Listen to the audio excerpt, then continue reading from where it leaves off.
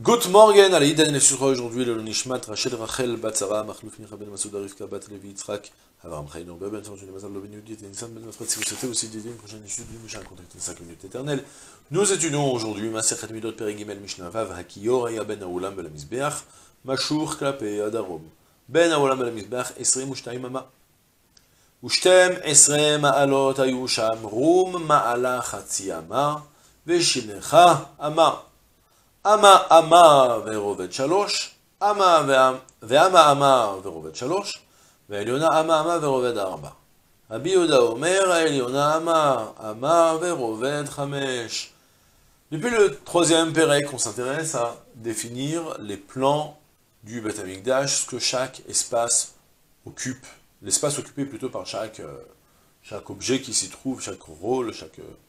chaque euh, D'accord, on s'est compris Et donc du coup, on a commencé d'abord à définir la Ezra de Kohanim, puis après à parler du Misbeach, les tailles exactes du Misbeach, du socle et tout ça.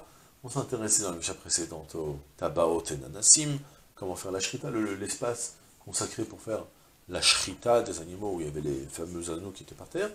Puis maintenant, on a fini avec le Misbeach, maintenant on commence à se diriger vers le Echal. Donc, on va d'abord commencer à définir ce que l'on trouvait dans l'entre Misbeach et Echal. Qu'est-ce qu'il avait? Il y avait deux choses, il y avait le Kior et il y avait les marches pour entrer dans le Echal. Le Beth il était construit en montagne. Donc, euh, plus on avançait, plus on, on montait un peu. Et du coup, ça, donc, il a fallu, il on a fait des marches pour pouvoir arriver au Echal. Et la Mishnah va s'occuper de ces deux choses-là en me disant, il y avait les marches et il y avait aussi le Kior. On commence d'abord par la partie la plus facile, c'est le Kior.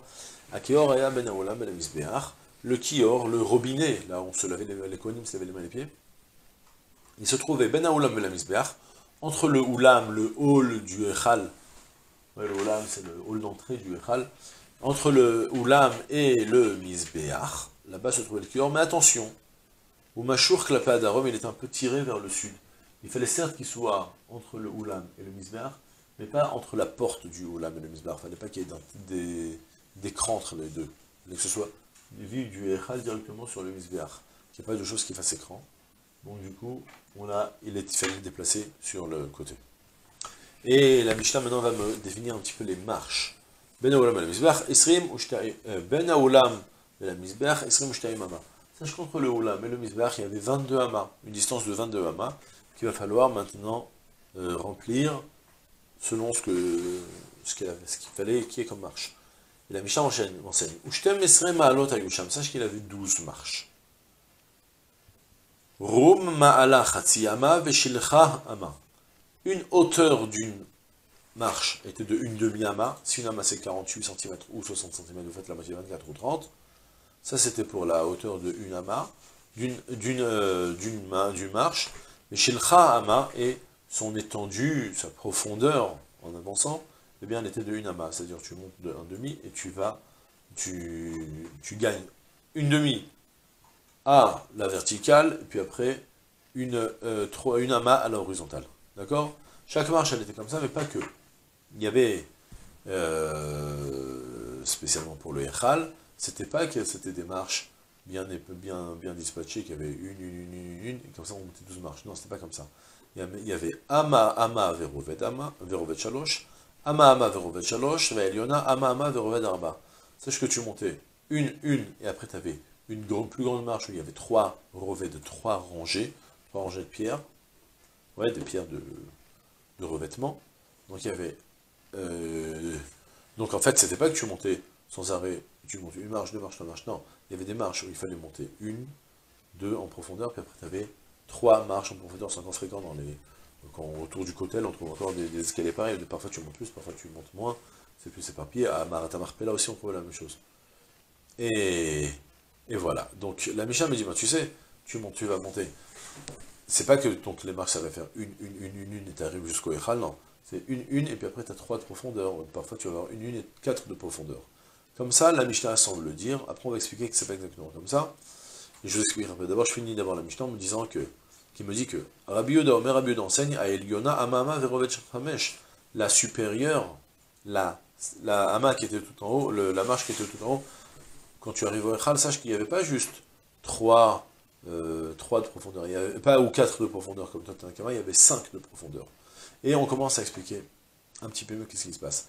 Ça m'a pris très longtemps en fait, je que j'ai été induit en erreur par ce chasse, que j'ai toujours dû dans, dans un chasse pareil, plus ou moins. Et il y a un dessin ici. Et ce dessin-là qui se trouve là, eh ben, il n'est pas exact selon le Barthénois, ça m'a pris très longtemps pour comprendre que, quelle est la vie du Barthénois. En réalité, la vie du Barthénois, si vous faites attention, regardez dans le PDF, vous allez le voir de vous-même, que c'est vrai qu'on voit qu'il y a des marches qui sont plus courtes que d'autres. Mais c'est pas symétrique. On pas dit tu fais deux et une, deux et une, deux et une. Au début, tu fais trois marches où tu rentres qu'une seule fois, et la quatrième marche, tu, tu, tu avances de, de 3 amas. Et puis après, tu vas faire deux marches où tu avances de une amas, puis après une grande marche supplémentaire où tu avances de 3. Et à la fin, tu en as 5. Donc en fait, tu as 4, tu as 3, 2, ou bien 4, 3 et 6 d'un coup. D'accord? Pour pouvoir arriver à 4, 3 et, 5 plutôt. Non, oui, 4, 3 et, 5 pour pouvoir arriver à, remplir les 12, 12 marches. Et, on explique un petit peu mieux ce qui se passe.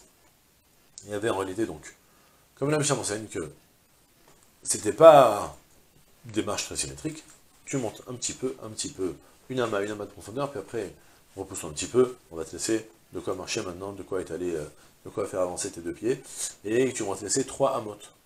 D'accord? Donc tu as 22 amas à nourrir comme ça, à remplir comme ça. Tu as 22 amas, et le Barthénois, donc il nous dit, ben, sache qu'au début, en réalité, il y avait d'abord une première série de 1, 2, 3, 4 marches. 3 marches qui vont te faire de une amas, une amas, une amas, puis après, une marche qui va te faire 3 amas. Donc déjà, pour le moment, fais attention, tu as déjà avancé de 6 amas.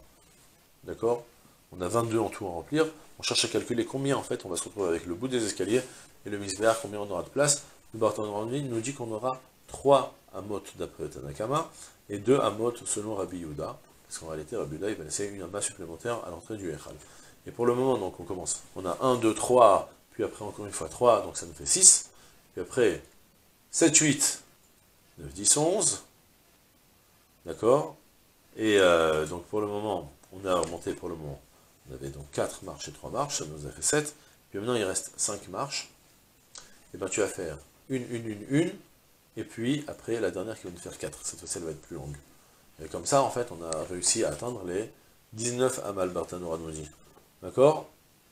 19 amas entre le Petach Oulam et la porte du Oulam, et le bout des escaliers, 19 amas. Si vous comptez, on a 1, 2, 3, 6, 7, 8. Et encore une fois, 3, ça va nous faire 11. Et après, on a 12, 13, 14, 15. Et après, vous, vous rajoutez 4, ça va faire 19. Le compte est bon. Ça, c'est d'après Tanakama. Et Rabbi Yotat dit non, non, non, non. Ici, entre le Oulam et la première marche que tu vas descendre, il n'y avait pas 4 amas. Il y avait 5 amas. Donc ça va faire une de moins.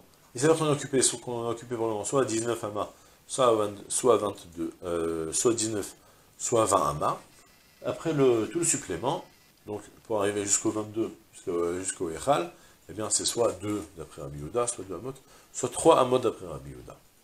D'après Khamim. Et voilà, c'est tout pour aujourd'hui. Bon, si ça vous intéresse, le Tiferet Israël, j'ai oublié de vous dire aussi, Tiferet Israël, lui, il a dispatché les, les marches de manière très différente, très symétrique, lui, il a lu que quand je t'ai dit de dire Ama, Ama, Shalosh Amot, ça signifie que tu montes juste 2 et 3. D'après le partenariat, ça veut dire Ama, Ama, Ama, Ama, même, et, et, et, Arba Amot.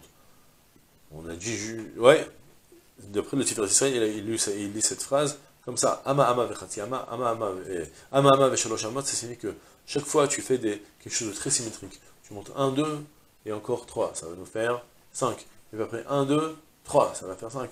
Et 1, 2, 3. De nouveau, ça va faire 5, 5, 10, 15. Et comme ça, en fait, selon lui, on va se retrouver à remplir, en fait, 21 amas. Il va nous rester qu'une seule amas pour marcher en bas sans se taper le pied dans le misbéach. Ouais. Et voilà. On a fait le tour de, de, de C'est tout pour aujourd'hui. Je souhaite une journée pleine de tout.